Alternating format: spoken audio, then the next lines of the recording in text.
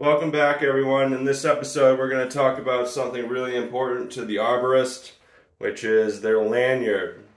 And specifically we're going to talk about my favorite lanyard setup and all the specific pieces of equipment required to make it.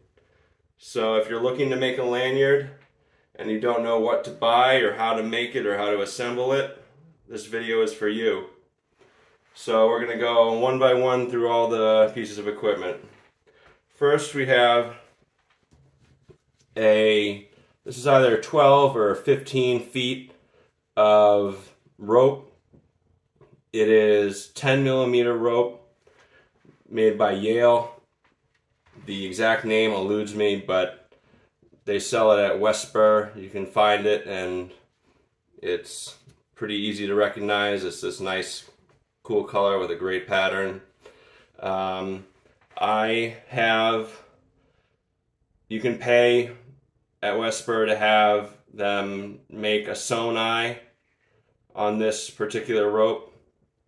I think that's really a useful thing if you have the money. It's only like $18 and that way you don't have to keep tying a termination knot every time you, you know, it's a knot to connect your harness to the rope. You can just, you know, slip a carabiner in and you're good to go. So I think that's really worth the investment if you're gonna, you're serious about making the lanyard. Um, also, I take the time to always melt the ends of my rope and I also whip them. Um, this is not necessary, like absolutely necessary, but I think it's something that you should everyone should consider because you don't want these ends, the innards coming out and, you know, the whole thing milking. Milking is when the core comes out of the sheath um, or the sheath comes off of the core. Uh, you don't want that separation. So I have a video about how to do this. If you look in my library, Anyways, moving on. The next thing that I have are two carabiners. Um, these are DMM carabiners. I can't remember exactly what they're called, um, but you, you can use any carabiner. Um, if you are a working arborist, you need, you know, locking carabiners you can't just have a screw gate carabiner. You need double action or triple action.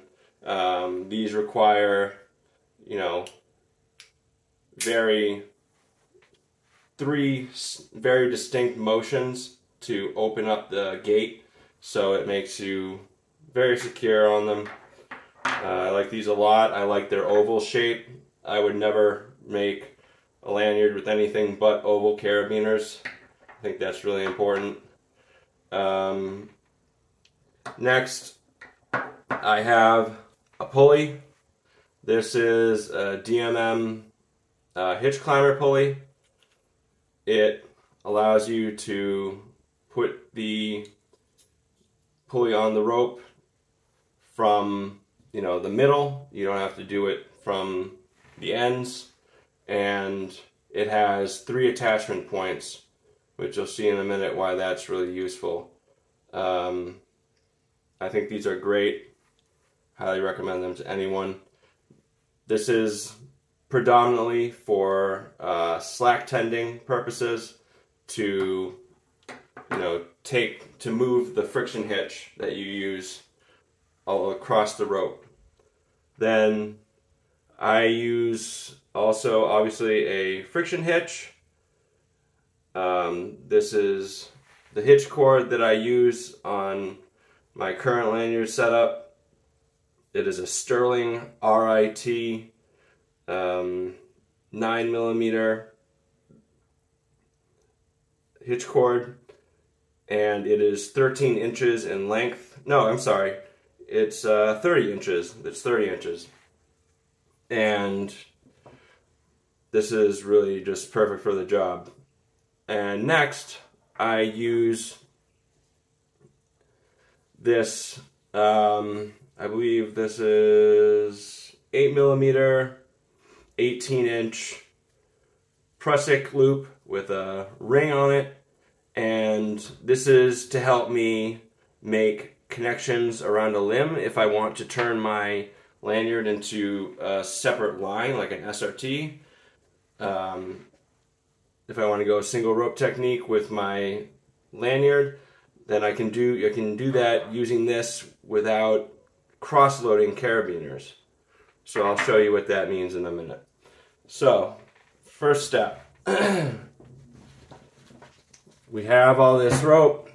Now we're going to attach everything where it needs to go. So first we have carabiner here. That's going to go in here. Next, we are going to make a friction hitch. Now here you can use any friction hitch of your choosing.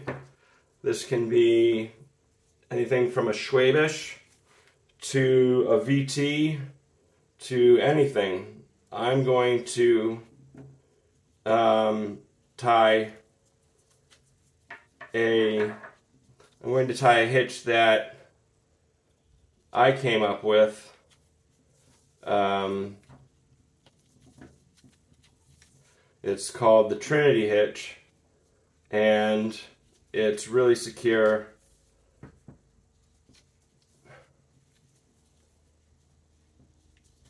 and it grips like crazy. So, you know, and I I find that with my friction hitches for um, lanyards, I want them to grip a lot more readily than with friction hitches on my climbing line. So, anyways.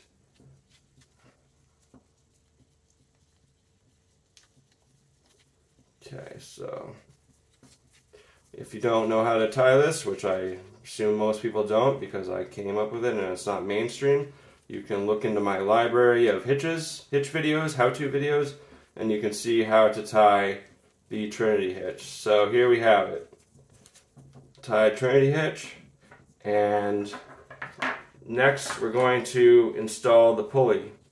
Make sure that when you've when you're putting on the hitch that you don't put it on in the wrong direction. You want the orientation to be correct. So you don't want it to be going, you know, the other direction. You want it because this is going to clip onto your harness and then this is going to clip also onto your harness. So now we're going to install the hitch climber pulley and you put the eyes on the rearmost eye or um, inlet for a carabiner, so the hole rather. And then this is where you install the second carabiner. Right here. Turn it around. Okay. And now um, the next step is to attach this here, which is my this is my Prusik loop. And the way this is going to connect is I'm going to take it and put it through and create a regular six coil Prusik.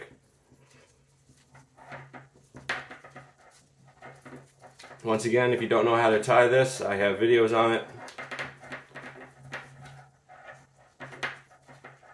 I don't mean to keep plugging my videos, but you know, it's a YouTube channel.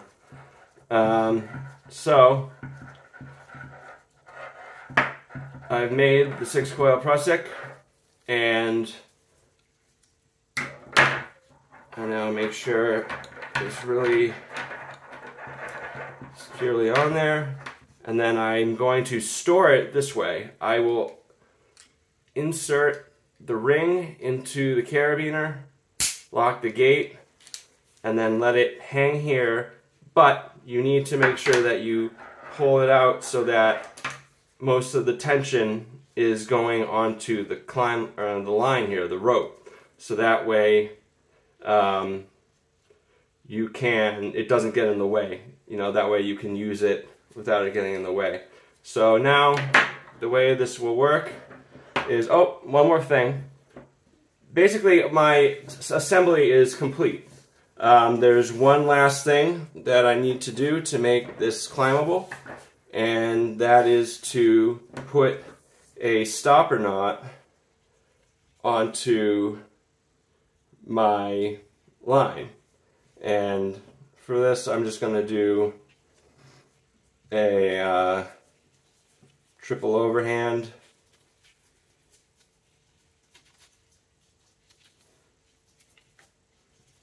Okay, that way I don't slide off the end of my line if God forbid my friction hitch were to fail. So now I can take this, I'm going to show you without blocking the camera, doing this left hand which is not my dominant hand, so I do it this way. So I lock into the attachment point on my bridge and now when I need to go over a limb I can go over it and then connect back in like that. But what's great about the triple attachment pulley is that I don't have to do this anymore. Because I have the triple attachment pulley, I can connect to my pulley instead of my attachment point. And that leaves this less cluttered because typically already I'll have my climb line, you know, attachment point um, secured here also. So my main, you know, access line. So once you, so now that you can, you know, do this and you can go around the limb and it's completely adjustable. I can adjust it any way I want to any length. And if I need to take in slack, I just pull it in with the pulley. And so this is always going to lock because that that's what friction hitches do. And I'd like to point out how cool my custom hitch looks when it's extended. Um, anyway, you can then draw out more line if you need it, or take it back in, and then it'll always lock.